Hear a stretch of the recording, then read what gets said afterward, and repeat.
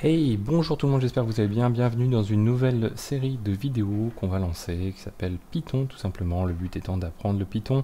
On va l'apprendre ensemble. Moi je suis pas un développeur, je suis plus euh, orienté sysadmin DevOps.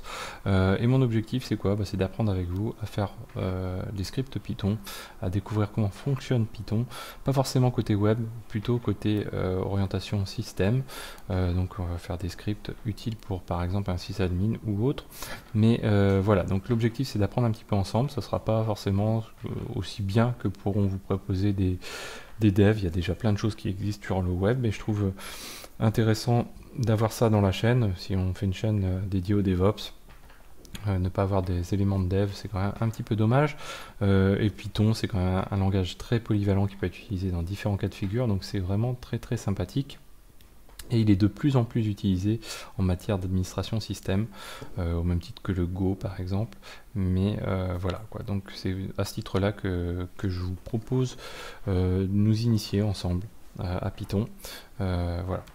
Donc Python c'est quoi? Un langage interprété, donc c'est la différence d'autres langages. Lui il n'a pas d'étape préalable, au même titre que le Ruby ou le Perl, à la différence de langage compilé, donc il est nécessaire de compiler auparavant, euh, ou d'assembler, donc pour le C, le C++ ou l'assembleur.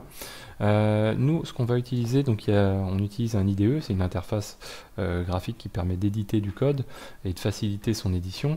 Il existe plein, plein d'IDE euh, même des spécifiques à Python. Moi je vous propose quelque chose d'un petit peu plus polyvalent, je ne suis pas un spécialiste non plus de cet outil-là, euh, moi j'aime bien mon, Vim, mais euh, le Visual Studio Code, quoi, Visual Studio, Studio, Code est plutôt assez sympathique. vous pouvez le télécharger à cet endroit-là si vous avez une Debian, vous téléchargez le paquet .deb, vous faites un dpkg-i et vous l'installez sans problème. Moi j'ai installé une extension qui s'appelle Code Runner qui permet de faire tourner le code dans euh, le de faire tourner son code directement dans l'interface Visual Studio Code, ça évite de naviguer entre différents éléments et c'est assez pratique, on va le voir ensemble.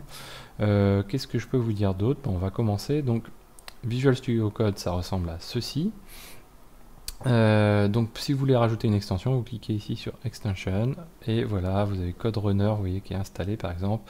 Il vous propose d'installer aussi d'autres euh, outils. Vous cliquez sur Install, il va vous l'installer sans souci. Au-dessus, on peut runner le code avec ce bouton ou avec le bouton qui est ici, c'est la même chose. On peut aussi faire du source control, notamment Git. Donc il a plein de plugins d'extensions euh, dédiés à Git et autres. Donc c'est un outil très très performant. Donc nous, ce qu'on va faire, première chose, c'est euh, on va ouvrir un folder. Donc là, euh, alors, on va pas faire comme ceci, on va faire comme ceci, euh, open folder, voilà, et j'ouvre un répertoire qui s'appelle pitre. Je clique sur OK. Vous voyez que là, automatiquement, donc il s'est placé dans ce fameux répertoire-là, qui considère en gros comme un projet. Et dedans, bah, je vais faire un CTRL N pour créer mon premier fichier. Alors, l'entête de Python, d'un script en général. On commence par le fameux Shiban euh, qu'on utilise généralement en Bash, mais on l'utilise aussi en Python. Euh, donc pour le, pour le découvrir, très simplement, vous tapez which Python et vous vous retrouvez ici avec la localisation de votre binaire Python. Donc on commence par un dièse point d'exclamation et on colle le binaire en question. Donc avec ça, on a fait notre en-tête. Vous voyez qu'il est, pour l'instant, il est en blanc, le code. Ça veut dire qu'il n'est pas encore reconnu. Donc si je fais un CTRL S, ici, je vais taper 1.py, donc ça va être mon fichier qui se nomme 1, et son extension .py, Python. Et vous voyez que là, ça y est, il a découvert Python. Si et vous voyez qu'on retrouve le petit logo de Python. Si ce n'est pas le cas, il va vous proposer en bas à droite, souvent, euh, d'installer euh, l'extension qui correspond, qui permet de découvrir le code, de mieux lire le code en question. Alors on va s'intéresser nous aujourd'hui au string, euh, donc en fait c'est euh, l'affichage de texte, la gestion de, variables de texte euh, en Python. donc on va faire ça très simplement et très rapidement. Première chose, le fameux Hello World. Donc pour afficher quelque chose à l'écran en Python, on utilise le print. Euh, donc le print étant une fonction, donc on utilise le double parenthèse, la parenthèse ouvrante et fermante. Et entre les deux, bah, comme on fait du texte, du string, euh, soit on le met entre double ou entre simple quote. C'est à peu près la même portée. Euh, après, ça dépend si vous mettez, l'idéal si vous encadrez de double quote, vous allez pouvoir mettre des simples quotes dedans et vice versa. Donc nous, on va faire un print de...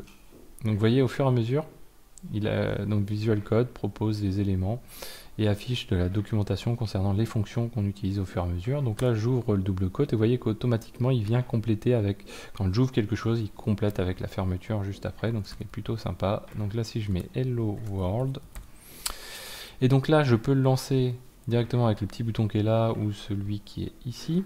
Si je survole le petit bouton qui est ici, je peux faire un CTRL ALT N qui revient à l'exécution euh, du code en question. Euh, donc voilà. Euh, là, j'ai ah oui, et bien sûr, j'allais oublier de le préciser. Donc ça tombe bien. Vous voyez qu'ici, pour l'instant, il affiche rien. C'est normal, mon fichier n'est pas sauvegardé. Si je sauvegarde, je refais un CTRL ALT N et voilà, donc là il m'affiche le résultat. Alors comme c'est Visual Code qui exécute le code, ça met un petit peu plus de temps, c'est pas c'est le côté un petit peu négatif. Et ça, on utilise l'extension qui s'appelle Code Runner, ce qui est plutôt assez sympathique. Sinon on pourrait passer par le terminal qui est ici euh, et exécuter le code tout simplement en faisant point slash 1.py. Euh, là en l'occurrence j'ai même pas fait de chmod donc du coup il faudrait que j'aille faire d'abord un chmod pour aller modifier les attributs du fichier euh, les permissions pour pouvoir l'exécuter, mais là vous voyez que Visual Code lui est capable de jouer directement les choses, donc c'est plutôt assez pratique. Donc là on vient de faire notre print Hello World. Maintenant, si on veut afficher un texte sur plusieurs lignes, comment faire? Ben, On utilise le triple quote ou double quote au choix. Donc on peut faire un print Hello World comme ceci. Hop, et voilà. Donc si je fais ça, si je fais un CTRL ALT N. Qu'est-ce qui se passe? Hop, donc là je vais redescendre. Euh, hop.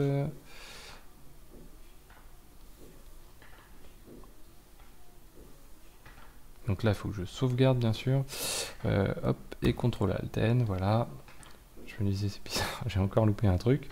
Il euh, faut surtout ne pas oublier de sauvegarder parce que sinon euh, vous n'êtes pas à jour. Et je me disais tiens c'est bizarre. Alors ce qui se passe des fois on a des lags, moi en tout cas j'ai des lags au niveau de l'exécution avec Code Runner. C'est pour ça des fois j'ai tendance à attendre alors que ça sert à rien d'attendre parce que tout simplement j'ai oublié de sauvegarder. Euh, donc là on peut le faire entre triple côte mais on peut le faire aussi entre simple côte comme ceci. Hop.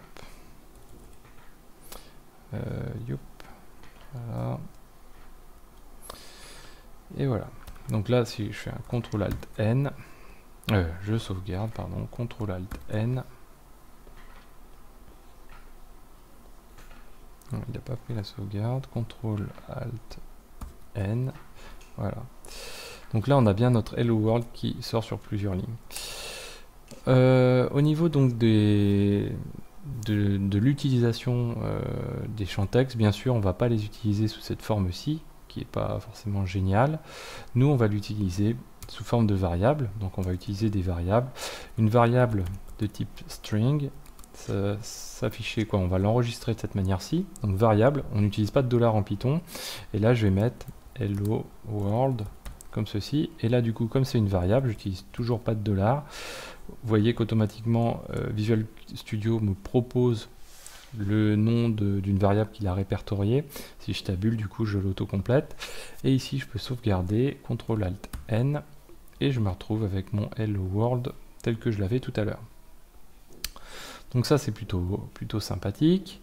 Euh, on peut ensuite, donc du coup, faire une variation entre l'utilisation euh, de, la, de, la, de, la, de la variable plus, donc on va utiliser la fonction plus, plus du texte qu'on va pouvoir rajouter ici, par exemple ici xavkey, xavkey, hop, voilà, je sauvegarde, CTRL ALT N, et du coup je me retrouve avec mon Hello World xavkey, modulo le petit espace que j'ai oublié, CTRL S, hop, CTRL ALT N et je rejoue les choses. Voilà, j'ai mon Hello World qui est là. Et bien sûr, je peux mettre deux variables. Euh, donc ici on va mettre non, pardon. non égal. Hop là. Voilà, égal. Et ici je vais mettre xavkey. Les trois points d'exclamation. Et puis, bah, si je veux faire les choses, je peux très bien faire quelque chose comme ceci, où je mets mon espace, de manière à ce qu'il ne soit pas dans la variable, et puis j'ajoute non à la fin. Voilà, je sauvegarde, CTRL ALT N, et là je me retrouve avec Hello World Xavkey, donc la concaténation des deux variables tout simplement. Alors maintenant, euh, on peut aussi afficher les choses d'une manière un petit peu euh, différente. Donc là, on a vu cette manière d'afficher euh, les variables. On peut utiliser un print euh, donc un petit peu différent. Donc là, par exemple, si on veut faire une phrase, on pourrait dire, on fait une phrase qui va être constituée euh, tout simplement de deux éléments. Donc je vais mettre entre accolade ouvrante, accolade fermante. Donc là, j'ai deux éléments, je le sais. Je vais utiliser la fonction qui s'appelle format et je vais pouvoir passer autant d'éléments que je souhaite. Donc par exemple variable, virgule et euh, nom, par exemple. Voilà. Donc là j'ai passé deux éléments. Ma phrase elle est constituée du coup. Et si je fais un print de euh, phrase, voilà, que je sauvegarde, que je fais un, quoi, je fais un CTRL ALT N, qu'est-ce qui s'est passé? Cette fois-ci j'ai deux lignes et je me retrouve bien avec mes deux lignes que j'avais, quoi, la deuxième ligne identique à la première ligne, en utilisant donc cette particularité qui est assez sympathique. Euh, ça, ça, équivaut, qu'on retrouve ça aussi dans d'autres langages, hein, bien sûr, euh, et euh, c'est très très pratique. Dans une fonction un petit peu plus récente de Python, on va pouvoir même travailler les choses de manière un petit peu différente. On va pouvoir faire quelque chose comme ceci, c'est-à-dire qu'on va commencer ici par un f, et ici, on va pouvoir mettre variable, entre accolades et non entre accolades. Bon, moi, c'est pas le cas, ça va pas fonctionner. Je peux essayer, mais je suis pas dans une version assez récente de Python. Voilà, il me fait une erreur, une syntaxe erreur, tout simplement. Donc là, on revient où on en était. Voilà. Alors, qu'est-ce qu'on a d'autre encore au niveau des variables? On peut afficher aussi le typage euh, le type d'une variable en question. Donc pour checker euh, bah, le type, nous, euh, on va pas avoir de, on va pas avoir de surprise parce qu'on est en format string. Euh, et si je fais un CTRL S, CTRL Alt N, là j'ai le type qui est affiché, donc j'ai bien ma phrase qui est, qui est affichée juste au-dessus, mais j'ai mon type qui est affiché et je sais que c'est un format string. Voilà, donc c'est à peu près tout pour aujourd'hui. C'est euh, en guise d'introduction, euh, quelque chose d'assez assez simple. Alors sur les variables, ce qu'il faut retenir aussi, c'est en termes, euh, il faut avoir quoi, pour simplifier la maintenance, les variables c'est très pratique. Par contre, pour une bonne compréhension, ces variables doivent être relativement explicites. Donc ne pas hésiter à avoir des variables avec un intitulé un petit peu long. en Python, on évite un petit peu les majuscules. Euh, on utilise plutôt des, underscores pour la séparation par exemple entre différents mots. Euh, et surtout pas de dollars, ça c'est hyper important. Voilà, donc j'espère que cette vidéo vous a plu. N'hésitez pas à la partager, en parler autour de vous. Bien sûr, on va continuer à en faire d'autres. On en aura un petit paquet. Euh, et je vous dis à très bientôt sur Xavki.